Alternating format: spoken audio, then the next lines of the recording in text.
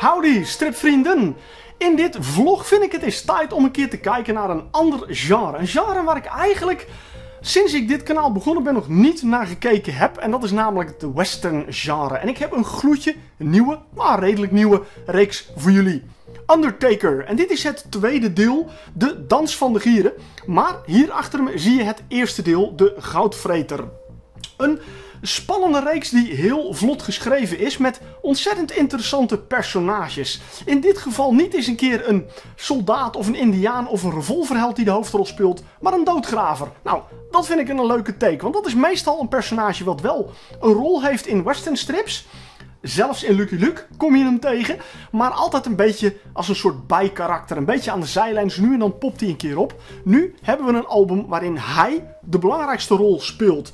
En hij is in dit verhaal onderweg met een lijk. Het eerste deel heeft de aanzet gegeven tot het verhaal. Want uh, met dit deel wordt het verhaal wat in deze twee albums gebracht wordt compleet afgerond. Hè? Dus je krijgt echt een mooi verhaal. Hierna begint weer een nieuw verhaal. Met hem twee dames. Een Engelse dame Rose, de voormalige accountant van degene die de doodgraver heeft ingehuurd.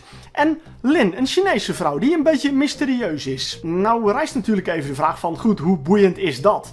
Niet boeiend, totdat je even weet welke twist de scenarist Xavier Dorisson in dit verhaal meegeeft. Want het lijk is namelijk de opdrachtgever en bevat een kilo aan goud. Wat die man voordat hij dood ging opgevreten heeft. Oké, hey, dat wordt al interessanter.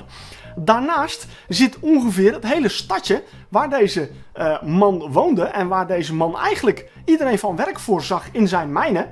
En dus ook meteen een beetje uitbuiten. Die hebben daarvan gehoord en die gaan er dus massaal achteraan. Want die willen van de doodgraver dat lijk hebben zodat ze dat goud eruit kunnen halen. Dat maakt het hele verhaal al een heel stuk spannender. En de manier waarop dit verder uitgewerkt wordt en dit verder in beeld gebracht wordt, dat vind ik heel goed gedaan. Het tekenwerk van Ralph Meyer vind ik ontzettend goed. Nou ja, goed, even paar voorbeeldjes laten zien. dan zie je eventjes ja, wat voor prachtigs deze man hier brengt. Nou, ik denk dat het wel duidelijk is. Het, is echt, eh, het verbaasde mij. Ik, ik was een beetje, ja, toch wel een klein beetje huiverig ervoor. Want ik ben nooit een hele grote fan van de western reeksen geweest. Ik heb vroeger wel uh, Blueberry en Comanche gelezen. Hè, uh, maar, maar ja, er zijn ook momenteel niet echt heel veel uh, lopende western-reeksen meer. De laatste is een paar jaar geleden nog geweest, Durango. er is nog een andere reeks die ik via Michael Menebo heb gezien, Tex Willer. Een Italiaanse reeks in zwart-wit. Die volgens mij nu nog wel waar nieuwe albums van uitkomen.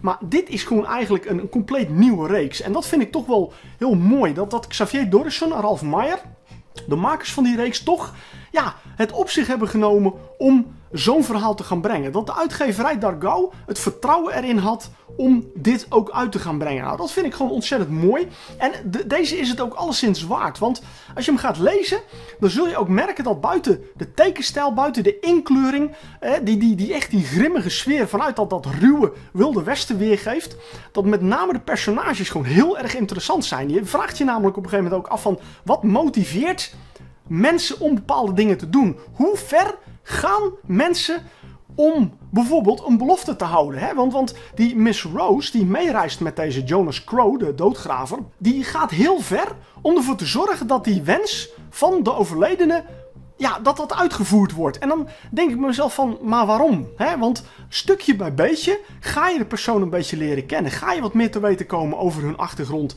En die vragen blijven dan helemaal. Nou, dat maakt deze reeks zo boeiend om te lezen. Ik moet zeggen, uh, deze had ik als eerste, maar ik kreeg eigenlijk wel te horen van, als je hem gaat lezen, moet je toch echt ook het eerste deel lezen. Juist vanwege het feit dat het één afgerond verhaal is. Nou, ik heb het gedaan, ik heb hem gehaald bij Eppo Strips hier in Eindhoven. En ik heb er geen spijt van, want ik heb het eerste deel echt in één ruk uitgelezen. Toen ik hem uit had, ben ik meteen aan het tweede begonnen. En ook die heb ik gewoon in één ruk uitgelezen. Ik had echt zoiets van, wauw, hij, hij pakt me echt. Dus wat dat betreft zeg ik van dit is een topper. En vandaar dat ik deze ook een beetje aan het eind van het jaar wilde brengen. Ik denk ik wil even het jaar afsluiten met echt een paar toppers. Nou dit is er eentje van. En één ding wat ik uh, nieuw doe in mijn video's. Of in ieder geval wat ik het komende jaren ga doen. Maar ik dacht van ja waarom wachten tot januari. Waarom niet gewoon meteen nu beginnen. Is dat ik hier toch even een cijfer aangegeven. Een score aangegeven. En in dit geval even twee scores. Eentje voor het scenario van Xavier Dorisson. die krijgt van mij echt een 9. Ik vond het scenario fantastisch. Ik vond het verhaal fantastisch. Ik vond dialogen erg goed. Dat, dat, dat maakte het boek ontzettend leuk voor mij. Daarmee ging het ontzettend leven. Dus een verdiende 9. Het tekenwerk van Ralph Meyer en even gekoppeld daarmee ook de inkleuring van uh, Caroline Delabie. Uh, waarbij ik achterkom dat dat de vrouw is van Ralph Meyer. Dat krijgt voor mij ook een 9. Want ik was daar een beetje huiverig voor. Maar ik moet heel eerlijk zeggen, ik vind het tekenwerk en ook de kleuren vind ik echt ontzettend mooi. Dus alles bij elkaar krijgt dit album en eigenlijk gewoon beide albums hoor. Dat geldt voor beide albums wat ik zeg. Die krijgen voor mij echt een verdiende 9. Dus een absolute aanrader. En ik zou zeggen, uh, spreekt het je aan? Heb je zoiets van, nou ik wil wel eens een keer een western gaan proberen? Ga hem halen.